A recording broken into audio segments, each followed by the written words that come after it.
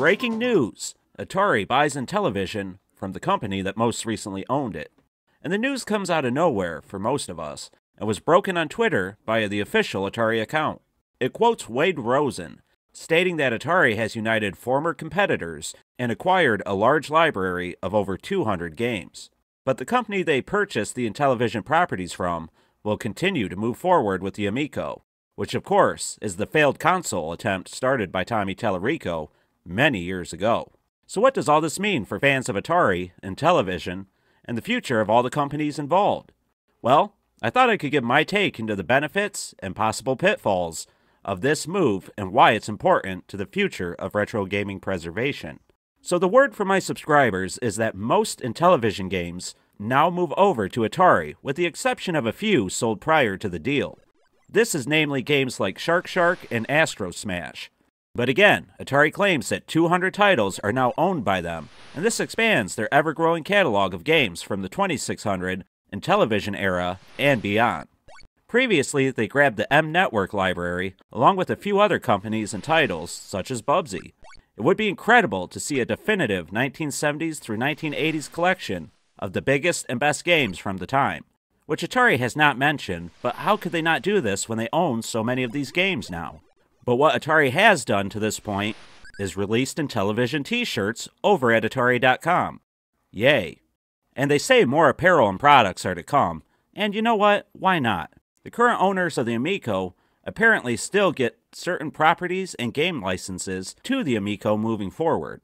But really, this move must mean that Amico needed money more than the Intellivision name, and the value of the Intellivision name to Amico has had to have been of little benefit, especially after the failures to launch and the scandals revolving around former company head Tommy Tallarico.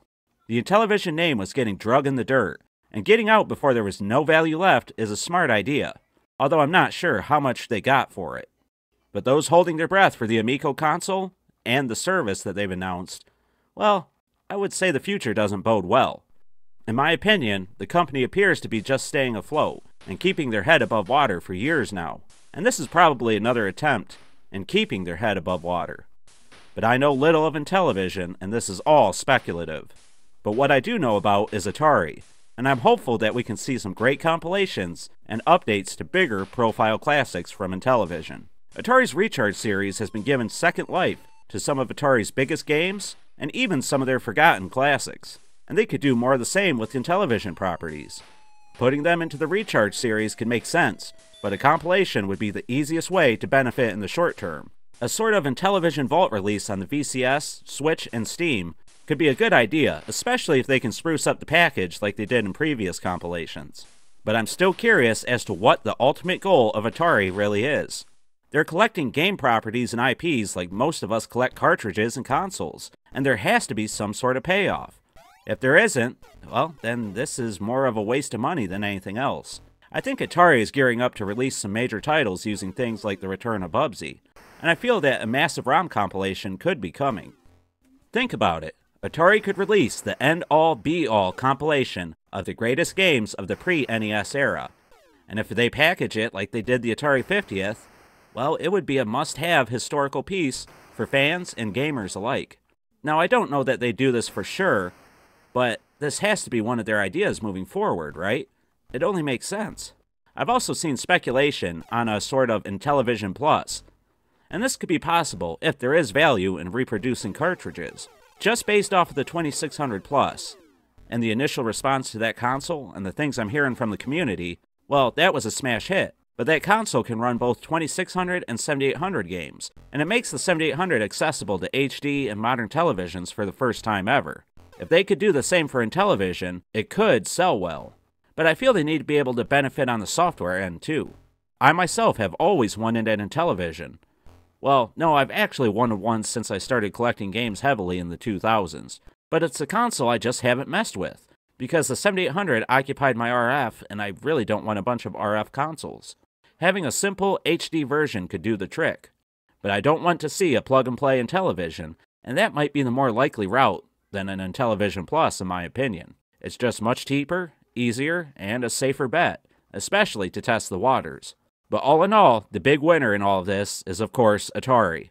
especially if they can capitalize on the games and the name like they have with their own stuff. And I think they could if they really want to, but I imagine that they have to do a lot of market research and stuff like that before any large scale releases are done. Prior to that, expect a lot of small items, such as the t shirts that they're already putting out.